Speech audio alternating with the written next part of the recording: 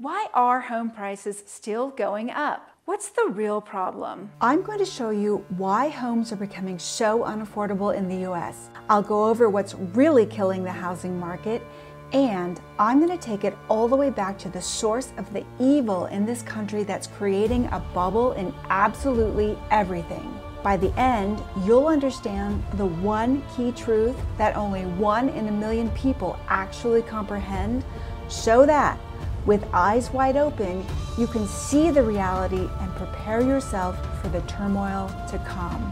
I'm going to take you on a little journey today, and it's mental. It requires your full concentration. So if you can't give that, don't even bother watching the rest of the video. Just click away now. It's a waste of your time. Okay, for everyone still here, grab a cup of coffee or whatever, and let's go down the rabbit hole. This all started one day as I was innocently perusing my YouTube feed and I saw this video. Is corporate greed crushing the housing market? It was a compelling question, so I clicked. Now, I've never met Michael, but I have run across his channel before, and he seems like a guy who knows his stuff in the real estate space.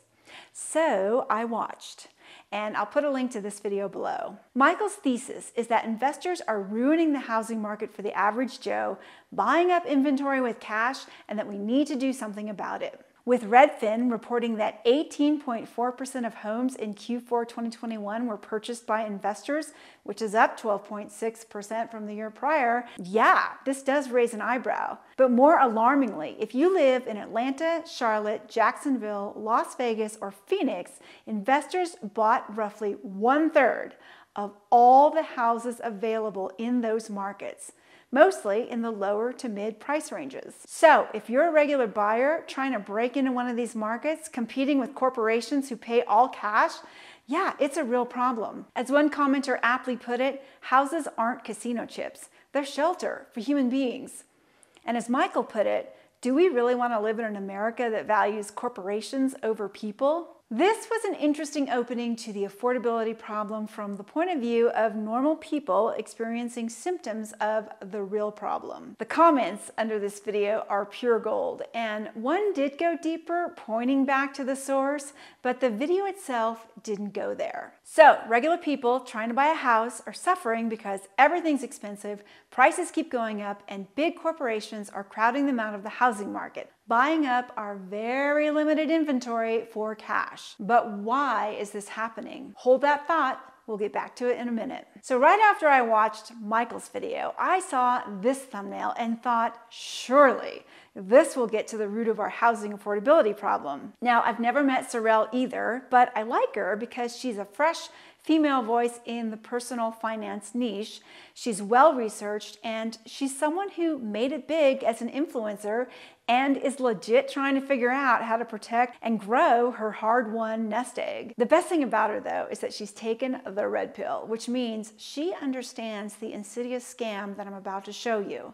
So, I recommend watching this one too, and I'll link it below. This was a well-produced video that laid out the case for the idea that we're on the verge of an economic crisis that your government doesn't want you to think about. She takes us through the history of the US dollar going off the gold standard and the inflation that followed. Then she shows us how the real inflation rate has been manipulated and hidden from us for decades. She brings housing into it as a deliberate omission in the deception, but she doesn't go any further than that. She wraps up discussing the risks of hyperinflation and what you can do to prepare. Now, that's all great information and you should definitely watch the video, but it still doesn't address the root of the problem. Why would governments want to hide the truth about inflation? Why are corporations buying so many houses? They didn't used to. And where is all that cash coming from? Let me tell you, this goes way beyond supply and demand. To get to the root of all our economic problems, we have to follow the money to the source. Can you guess where I'm going with this? Let me know in the comments below. Deeper into the rabbit hole, my friends. This is where you really need to focus. Before we go any further, we need to understand what is money. This is a very important foundational concept. Simply put, money is a store of value that can be exchanged for goods and services. Many things have been used as money by humans over the centuries. Shells, beads, cows, amber, copper, silver, gold, paper notes, and most recently, computer bytes. Money systems have come and gone, but the most successful share three characteristics. Number one, Money must be a stable store of value, meaning that its value today will be pretty much the same as next week, next month, next year, and beyond. Gold, silver, and copper have been historically good as money since they're rare, they take a lot of effort to mine, and they don't corrode or rust over time. Number two, money needs to be widely accepted by the majority of people as a medium of exchange, which means people need to trust it as a store of value. Number three, money needs to be a unit of account, meaning that you can divide it and each unit is equivalent. So one dollar equals one unit and every other dollar is identical. And it can be further divided into cents. This is where diamonds, cows, beads, and shells fall down. They're not perfectly equivalent or divisible. Boiling it down further, money is simply a claim on human labor because everything we can buy with it is either a service done by people, a product made by people, or a right sold by people. Okay, now that we understand what money is, let's look at the bigger picture. Have you ever stood at the bottom of a huge mountain and looked up? You'll always see something that looks like the top, where rocks meet the sky. But if you actually start climbing, when you reach that spot, you'll see that it's not the top. Sure, when you get there, the view is better and you can see more, but you don't have the whole picture. So you look up, you see a new top, you climb, you get there, but it's still not the real top. Each time you do this, the view gets better, but you have to keep climbing to get to the real top to see the entire view and to know what's really going on in 360 degrees all around you. That's our money system.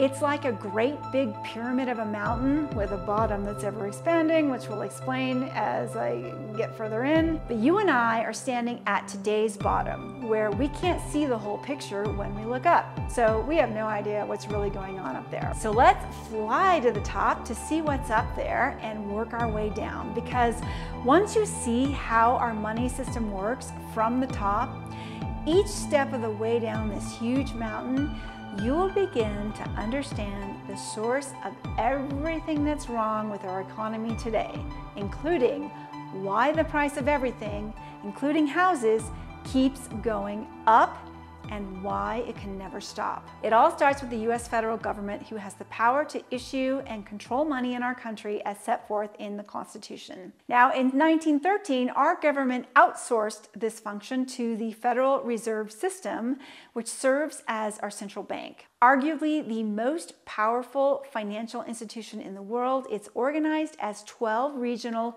semi independent Federal Reserve banks located in major cities across the US and set up as private corporations. Who owns these corporations isn't entirely clear due to a number of mergers and acquisitions over the years, but they are essentially owned by commercial banks. Now, these member banks hold stock in these Federal Reserve banks and they earn dividends on the profits. These 12 private profitable corporations are overseen by the Board of Governors, an agency of the federal government who report to and are directly accountable to Congress. Known simply as the Fed, Jerome Powell is the current chairman and head spokesperson for this group. The Fed's stated primary goal is to influence monetary and credit conditions in the U.S. economy to ensure maximum employment, stable prices, and moderate long term interest rates, with a debatable track record on all fronts. So, at the top of our money mountain, we have these two institutions one filled with bankers and one filled with politicians. Money creation begins with politicians who want to fund programs because there is no better way to stay in office than to hand out free stuff. So they authorize an amount and tell the US Treasury to create some bonds for this amount. I need some bonds. What are bonds, you ask? Bonds are nothing more than government IOUs, as in I owe you money with interest payments periodically paid. Think of it as the price to rent money, and maturity dates where the principal, which is the entire original amount, must be paid back. These treasury bonds are our national debt, and they're meant to be paid back by the American taxpayer you, me, and all our descendants. So let's go down the mountain a bit. The Treasury holds a bond auction and the primary dealers, new characters, show up to bid. A primary dealer is a bank or other financial institution that has been approved to trade securities with a national government, and it is a very exclusive club with only 24 members as of 2019. These dealers buy U.S. Treasury bonds to make a profit by earning interest, which is pretty much a risk free income stream guaranteed by Uncle Sam. And then, through a process known as open market operations, the banks turn around and sell some of these bonds to the Federal Reserve Reserve. Now, stick with me here because this is the root of all evil, where the deception really begins. The Federal Reserve buys these bonds from the primary dealers, writing checks from an account with no money in it. Got that? It's simply recorded by computer keystroke. It's not backed by gold or silver or anything at all. There's nothing there.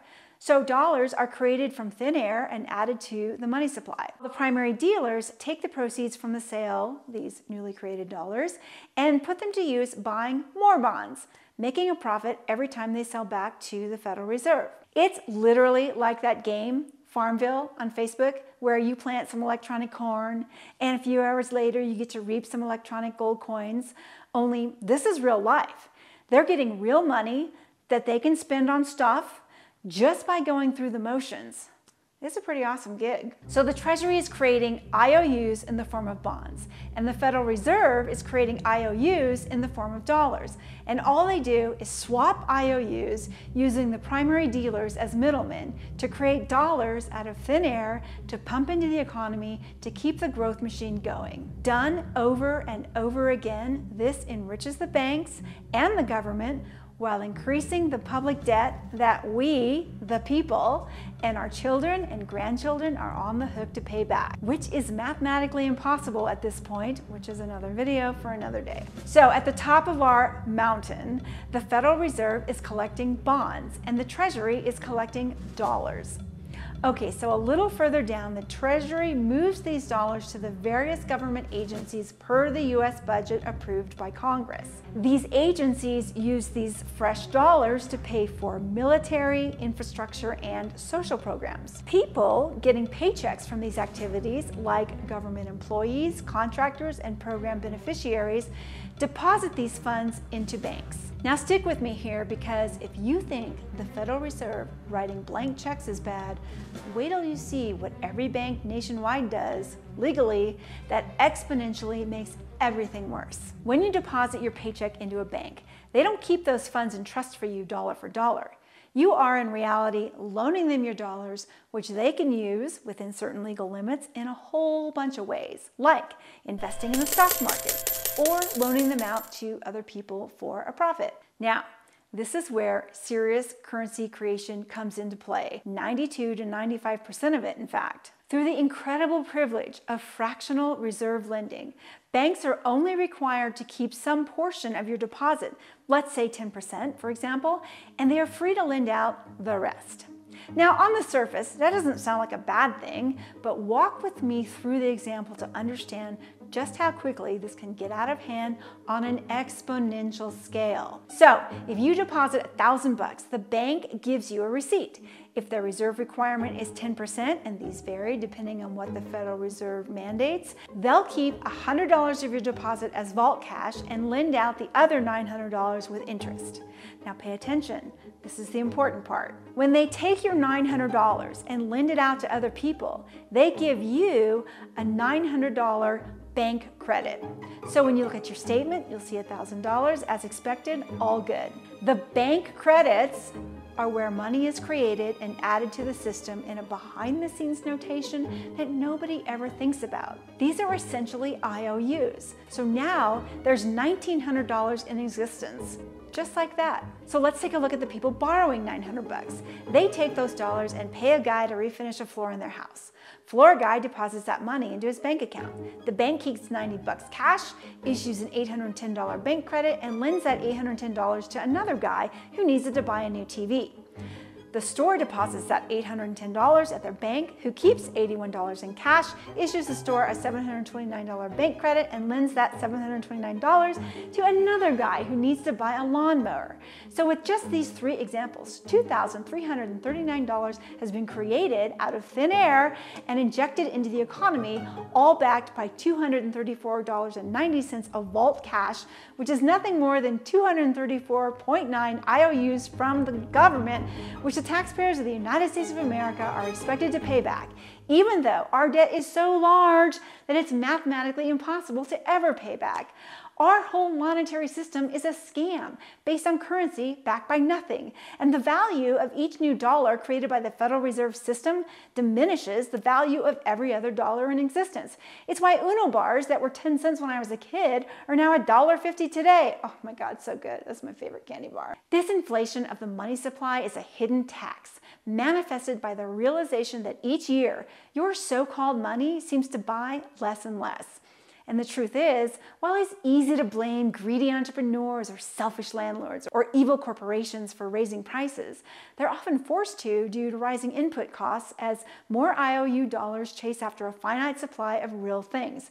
And COVID, with its supply chain disruptions and stimulus checks, absolutely intensified the issue. More people with more dollars buying limited things equals higher prices, housing included. Yet, despite the current inflation spike, the Federal Reserve has done a pretty good job of keeping the dollar as global reserve currency fairly steady over the years compared to other currencies, but it's still a fiat currency, which means it has value merely by government decree. Dollars are not redeemable for gold or silver or anything other than promises that the US taxpayer will, yeah, We'll pay you back. Tied to nothing tangible, it's so easy to create as many new dollars as you need, and those closest to the source get to spend them first before prices go up for the rest of us plebes. Here's how it plays out in the housing market. You're a government contractor working in DC, an investment banker in New York, or a principal engineer in Silicon Valley whose company just went public. Cha-ching! You live in an expensive place, do complicated work, and you get paid extremely well because you're close to the source of the new money flows. You get your paycheck, spend it into the economy, and then your grocer, your housekeeper, your accountant, and the Irish pub down the street, they all get money from you. But let's say you've had it with corporate life and you decide to cash out and move to Knoxville or Miami or Dorado, Puerto Rico, taking your big budget with you. Homes in your new location are so much cheaper.